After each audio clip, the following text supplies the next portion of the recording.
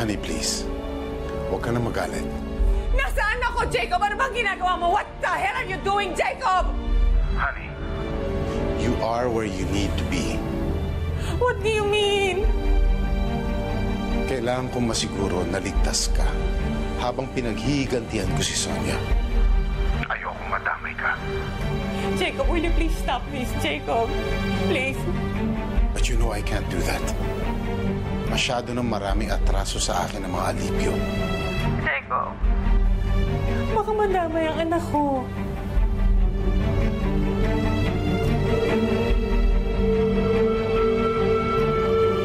Pasensyahan na lang. No, Jacob. Jacob. Jacob! Jacob! Jacob! Let me call my... Let me... Let me call my daughter! Tatawagan ko lang anak ko. Please lang. Tawagan ko lang yung anak ko, please. Let me out of here! Tulungan niyo ako! Tawagan ko lang yung anak ko, please! Kinakabahan na mo talaga ako. I have to go. Hindi pwede, dito ka lang. Eh, saan ka pupunta? Anong gagawin mo? Hanapin ko po ang mami ko. I'll trace back kung saan siya huling pumunta dun po sa grocery store. Okay, sandali lang muna. Pwede ba kumalma ka? Mamaya may dinaanan lang ang mami mo.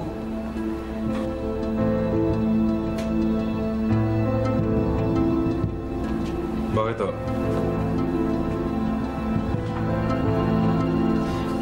Ana, ayaw kong nagdagan yung kaba mo ha, pero baka kasi... Si Jacob ang may kagagawa nito. Pero paano? Eh, nakakulong si Jacob sa bilibid. Nakakulong rin naman si Jacob nung tinangkayang sunugin yung bahay namin. Restaurant ni Ate Ana at opisina ni Atty. Vega. Ano ba yan? Sandali. Hindi pa ba titigil talaga yung Jacob na yan? You know, the lawyer in me wants to give Jacob the benefit of the doubt. Pero masyadong marami nang ginawa si Mr. Montesilio sa atin. Yes. And it would be really stupid kung wala tayong gagawin. Samahan ka namin ni Sir Jojo sa grocery store. Mabuti naman. Para mamapanatag ako na hindi mag-isa lalabas ito. Ako na po, ako na po. Ako na po sasama kay Ana. Sasama ako, kuya. Hindi, Domen, hindi. Dito ka lang. Samahan mo lang dito si Yaya Leti. Saan pumunta, Nay? Alis din kami. May sisiguraduhin lang kami ni Atty. Vega.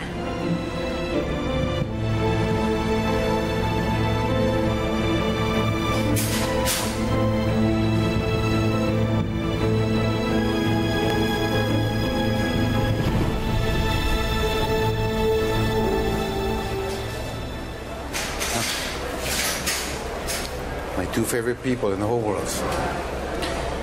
To what do I owe this pleasure, ladies? Wala kaming panahon sa mga satsat mo, Jacob.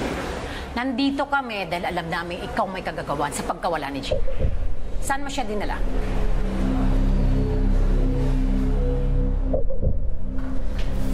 Yes, this is it. This is my mom's car.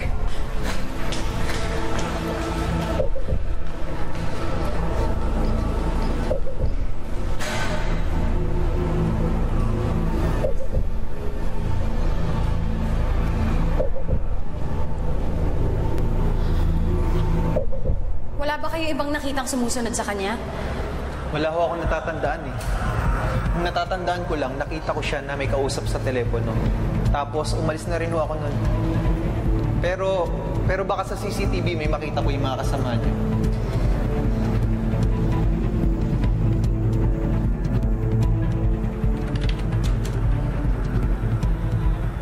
May lumabas ng kotse, no? Si Mrs. Montesilio. Ang G.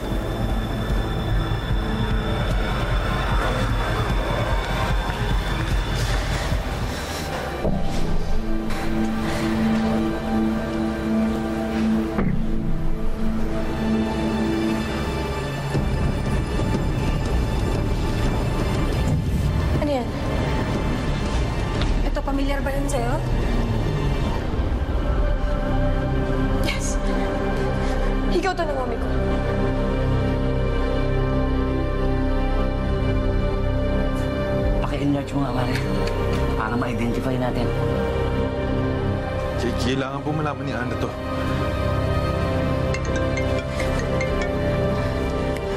Ako. A- Ana, nandito kami ngayon sa CCTV room. I'm sorry, pero positive may tumukot sa mamay mo. No, oh my God. Ako, anong gagawin ko? Hindi, huwag ka mag-alala. Ha?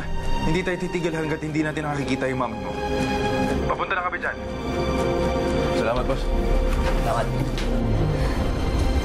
This is Jacob's fault. I'm sure of that. What? Nawawala si Jean? Sino kumuha sa kanya? Is she okay? We better do something about it. Baka mamaya, kung mapano pa ang asawa ko. Di mo na kami maluloko, Jacob. Alam naming ikaw ang may kagagawa ng lahat ng ito. Is a serious allegation, Sonia. Attorney, ano ba pwedeng kaso isang pako sa kanya? We don't have time to play games, Mr. Montesilio. May alam ka ba sa pagkakawala ni Jean Montesilio? Of course not. Paano ko magagawa yun? Look at me. Look at where I am. Nasa loob ako. Tigilan mo ng pagpapanggap mo, Jacob. Sonia, alam mo kung gaano ko kamahal ang asawa ko. Hindi ko siya kaya saktan. Pwede ba? Huwag na tayo mag-away. Kung talaga nawawala ang asawa ko, buti pa ipagdasal na lang natin siya. Please. Join me in prayer. Let's go, Sonia. Wala tayong mapapala dito. Pinaplano mo, Jacob, hinding-hindi ka mananalo. Mag-isa ko na lang ipagdarasal ang kaligtasan ng asawa ko. Salamat sa pagdalaw niya. Mag-ingat kayo sa pag-uwi. Alam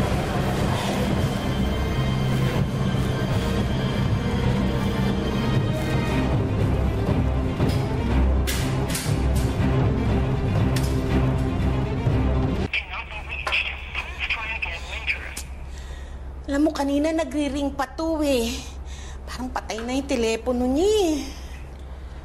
Kaya Leti, wag na po kayong mag-alala. Makikita po ni nanay at ni kuya si Mrs. Montesilio. Sana naman. Bato, nakakalungkot naman.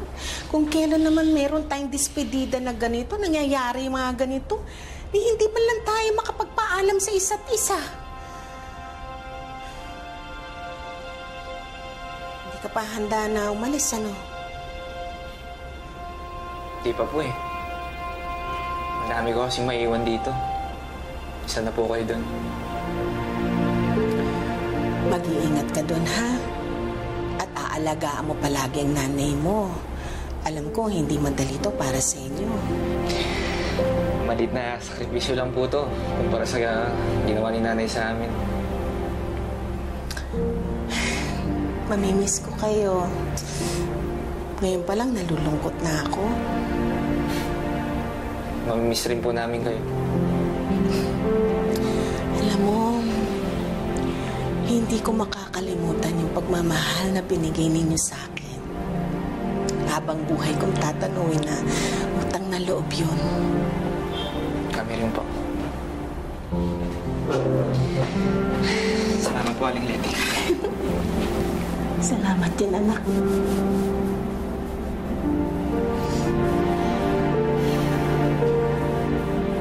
Attorney, sigurado ako, si Jacob lahat ang may kagagawa nito. May naiisip ako.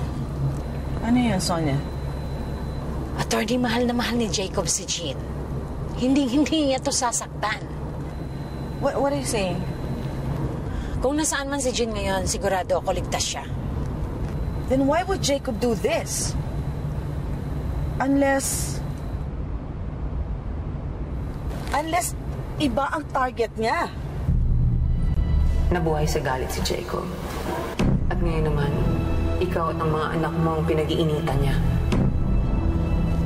Attorney, kami ang target niya.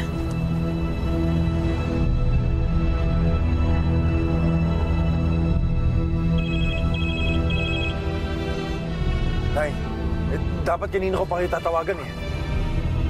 Si Mrs. Montesillo. Paco, nak, makinig ka sa akin, ha? Puntahan mo yung kapatid mo, tapos mag-impake kayo. Ngayong gabi na tayo papunta ng Cebu. Ano? Nay, ano nangyayari? Nak, si Jacob. Tayo ang target niya. Si Jean kaya niya dinukot para hindi tumadamay. Sige na, puntahan mo na si Domeng. Bilisan mo na. Hindi, Nay. Hindi kami aalis nang wala ka. Paco, ano nangyayari? Hindi nak, sige na, sige na, susunod ka agad ako. May sisiguraduhin lang kami ni Attorney Vega. Sige na. Hindi. Hindi kami papayag, Nay. Sabay-sabay tayong aalis. Inak, sige na na.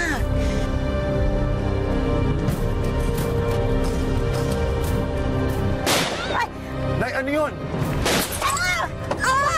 Nay, Nay, ba't may tunog ng baril dyan? Attorney! Sonia! Ano nangyayari dyan, Nay?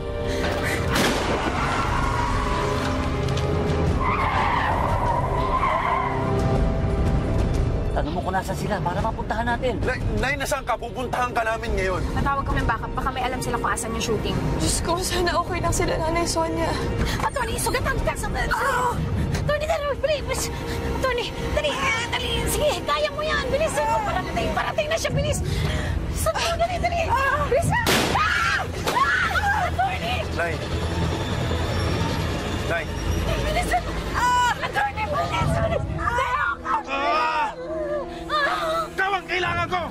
Hindi siya!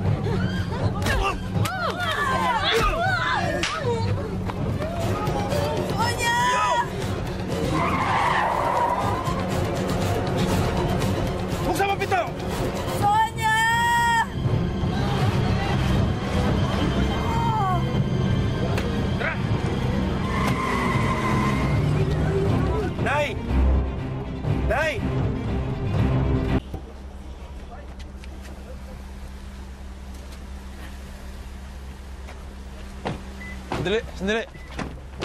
Attorney? Attorney, ano nangyari? Si, si, si nanay po, nasaan? Paco, we're running out of time. Kinuha nila ang nanay mo. ano, Nino? I don't know. But feeling namin, tauhan ni Jacob.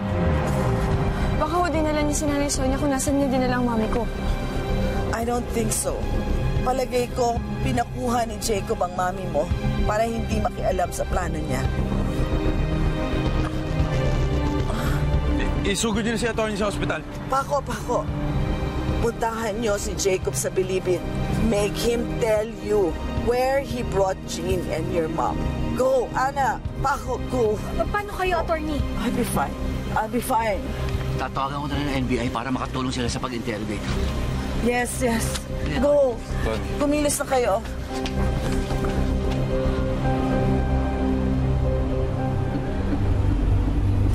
Sir, 11, kumpleto. Montisilio! Matulog ka na.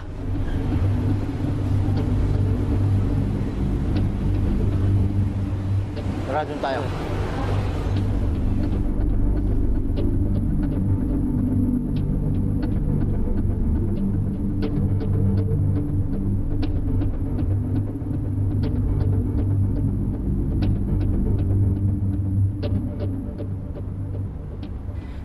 Ko. Sigurado akong alalang-alala na sila sa akin. Kumusta na kaya yung anak ko? Sila Sonia, sana okay lang sila. Kailangan akong makatakas dito. Baka kung ano nang gawin ni Jacob sa kanila.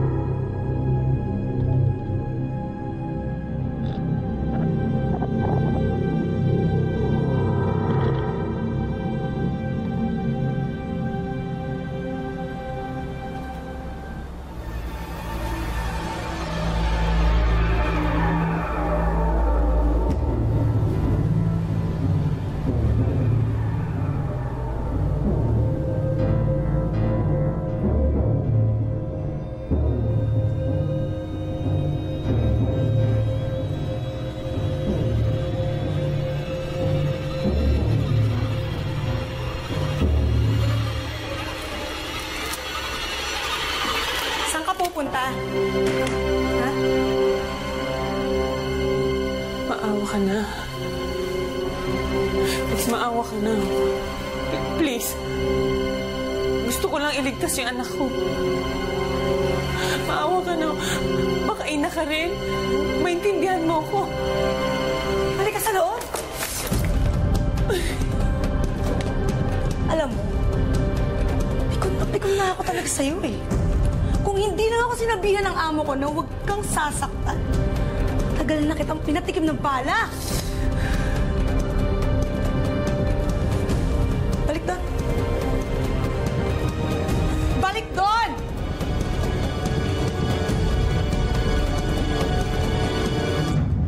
Hindi ko talaga pwede. Hindi ko pwede pagbigyan yung request nyo. At bakit naman ho? Meron kaming legitimate reason kung bakit kami nandito. Pangalawa na ko kasi sa gabi ngayon yan, marami lang masyadong dumadalaw kay Mr. Montesillo.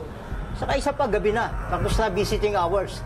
May suspecha kami na alam ni Jacob kung nasan yung nanay namin. Kailangan namin siyang questionin. Ayun din. Hindi nga pwede. Baka ako naman ang pagalitan sa taas. Teka muna, ipapaalam ko muna. Hindi na kailangan. Pinagpaalam na namin, kasama na namin ng NBI. This is Agent Clara Cabral. Siya ang magsasagawa ng interrogation.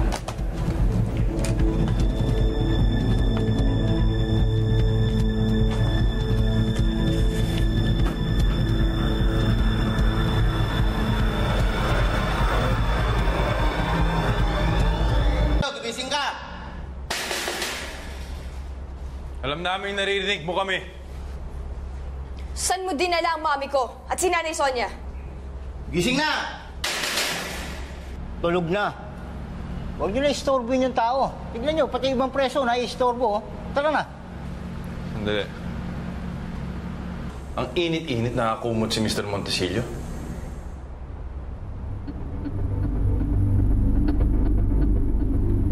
Hindi si Jacob yan. Buksan yung pinto. Bubuksan niyo ba yung pintuan o tatawagan ko si Senior Inspector Renante?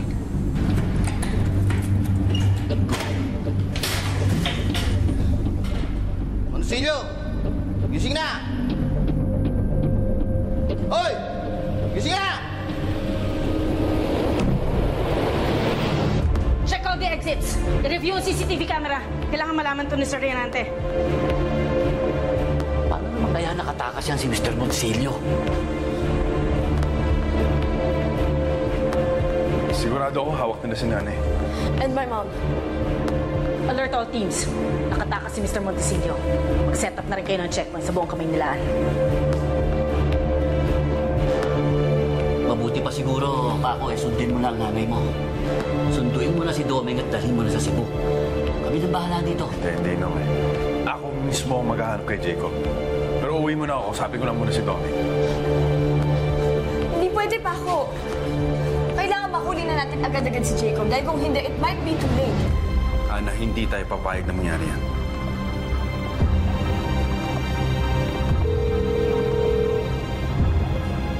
Hello, Uncle David. Hello, Uncle David. I told you not to call me again. I already helped you. Ano ba bang gusto mo? Uncle, relax. Tumawag lang ako para magpasalamat sa inyo. Who knew blackmailing you would actually work? Kung ayaw mo ipagkalat ko na magkamag-anak tayo, find a name for me. Huling tulong ko na ito sa iyo, Jacob. Please lang, huwag mo na akong tatawagan. Huwag kayong mag-alala. Last na to. Tumawag lang talaga ako para magpasalamat sa mga koneksyon nyo. Because of you, nakakalabas ako ng kulungan. Basta bago mo ito maliwanag, dapat nakabalik ka na. Para walang magtaka. Oo na. Sinabi mo na rin sa akin yun isang gabi. Maganda na yung sigurado. Alam mo naman sumusunod lang ako sa utos ng uncle mo eh. Maraming salamat pala for giving me the keys to your beautiful houses. Who knew, magagamit din pala natin ang pagiging kurakot mo. Ikaw na bahala dito ah. You give her anything she needs. Remember, you take care of my wife. She needs to be here where she's safe. Okay po, sir. Eh, Paano po pag nagtangka tumakas? Pigilan mo siya. Pero wag na wag mo siya sasaktan. Copy, sir. Sige. Iwan na kita dito.